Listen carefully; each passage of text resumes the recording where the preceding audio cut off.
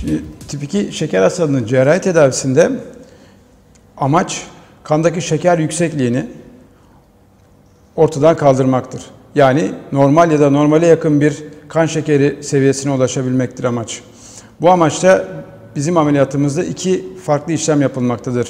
Ameliyatımız kapalı yöntemle, laparoskopik yöntemle yapılan bir ameliyattır. Birinci işlem mideye uygulanan işlemdir. İkinci işlem bizim ameliyatın nasıl etkisini gösteren ince bağırsağın son kısmındaki belirlenmiş bir bölümün sindirim sisteminin ilk bölümüne eklenmesiyle ya da yer değiştirilmesiyle karakterize bir durumdur. Yaptığımız ilk işlem mide üzerinedir. Midede yaptığımız işlem şudur.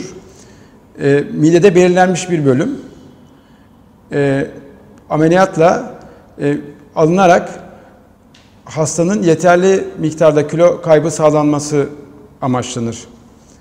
Bu kilo kaybı hastadan hastaya değişmektedir. Çünkü tip 2 şeker hastalarının %80'in üzerindeki kısmı obezite yani şişman hastalardır.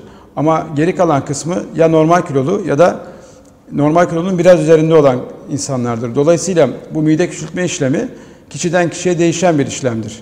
Her insanda farklı bir durum arz eder. Mide küçültme işleminde bizim için önemli olan bir bölüm vardır. Fundus dediğimiz bir bölümde salgılanan bir hormon. Bu hormonun ismi grelin dediğimiz bir hormondur. E, beyne bir kısım sinyaller göndererek kişinin yemek yemesini sağlayan bir bölümdür burası. Bu hormonlu bölümde alınarak beyne buradan açlığı ileten e, bölüm ortadan kaldırılmış olur. Dolayısıyla insanlar daha az miktarda yeme ihtiyacı duyarlar. E, böylece kalori kısıtlanması da gerçekleştirilmiş olunur. Bizim ameliyatın ikinci bölümü ve en etkili bölümü e, normalde şeker hastalarında sindirimin ilk bölümünde duyarsızlaşan bir bölüm vardır yiyeceklere karşı. Bu duyarsızlaşan bölüm nedeniyle de şeker hastalığını iyileştirecek hormonlar ya da bu hormonal değişikliği başlatacak olan bölüm ne yazık ki duyarsızlaşma nedeniyle yeterli fonksiyon gösterilmemektedir.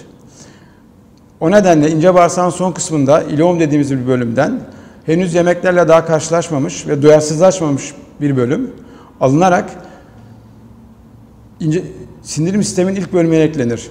Böylece yemek bu duyarsızlaşmayan ilk bölümle karşılaşır. Bu duyarsızlaş, duyarsızlaşma olmayan bölümde bir kısım hormonal aktiviteler ortaya çıkar. Bu hormonal aktiviteler insülin salınımı üzerine olumlu etkilerde bulunur. İnsülinin etkinliğini ve miktarını arttırır. Böylece kandaki şeker düzeyi e, normale çekilmeye çalışılır.